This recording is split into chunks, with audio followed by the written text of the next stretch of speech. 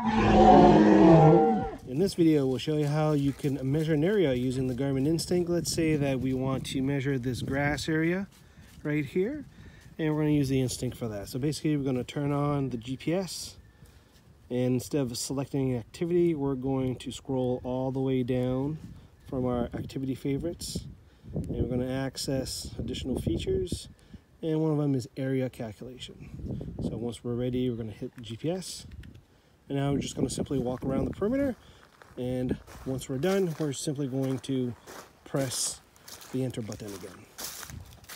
All right, so see here from our little map here, we've did the perimeter. Now we're done, we're gonna hit the GPS button again. And now it's calculated three, almost 350 square meters, and uh, we can either select done, we can change the units, meter square, acres, hectares, kilometer square, square miles, etc., etc. And once you make a selection, press the GPS button. There you go, 0.1 acres. You can save the activity, or say we're done. And uh, we're just going to select done.